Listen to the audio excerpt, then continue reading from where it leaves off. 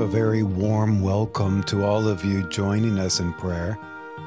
I'm Father Ron at the beginning of a new week given to us by God. How blessed we are. Thank you for being here in prayer with us.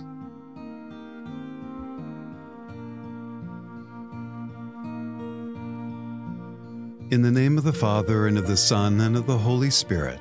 Amen. O Lord, open my lips, And my mouth shall declare your praise.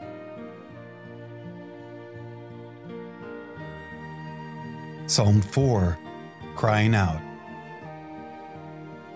I cry out to you in my anguish, O God. I have tried to be good. I have blown on the embers of the faith I have found. I have learned to pray and to trust. I ask you for better times, but more urgently, for courage and joy in whatever the times bring. Your presence in my heart is more important to me than success or riches. With it, I can trust the darkness and live, waking and sleeping, in peace. Glory be to the Father, and to the Son, and to the Holy Spirit. As it was in the beginning, is now, and will be forever. Amen.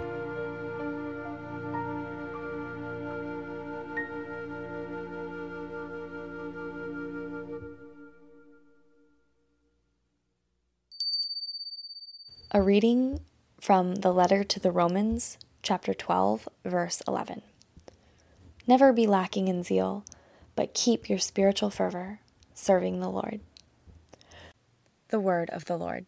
Thanks be to God. I was reminded of something I had read about how one of the greatest tricks of the devil is to keep us dwelling in our sin, to keep us from thinking that we could possibly be worth saving. The article I read then goes on to say that the devil does this precisely to people who he is trying to keep from moving forward into the work God has created them to do. I don't know who listening needs permission to let go, but I'm here to remind you that Jesus gave you that permission when he died for you. When he took the curse to the cross, he gave you permission to stop dwelling on your past, to stop feeling guilty, to let go of any thought that you aren't good enough because of something you've done. Jesus told us that his burden is light. So if you are carrying a burden of past sins and regret that feels heavy, know that that is not from him. That is from his adversary, pulling the oldest trick in the book, the trick that keeps you from living in the divine will. Because once you shed that shame, you are one step closer to living out the divine purpose you were created for.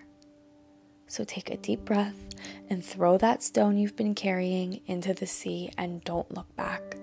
We learned what happens to those who look back from Lot's wife, so don't even peek. Just move forward. Sometimes my daughter and I go throw rocks into the pond next to our house. It's really freeing sometimes to physically throw the rock and picture letting go of something. She obviously does it because she likes the splash it makes.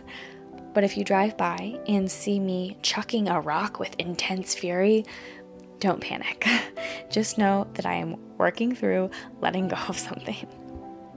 So if you need to go find a rock to throw, do that. Do what you need to do to toss that shame away.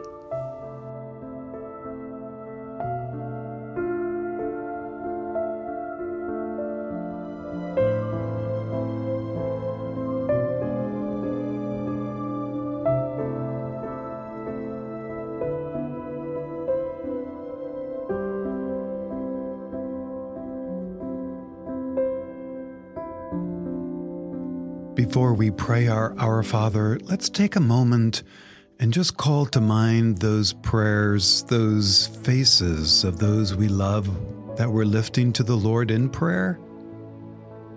And together, in the words Jesus Himself taught us, we pray. Our Father, who art in heaven, hallowed be thy name.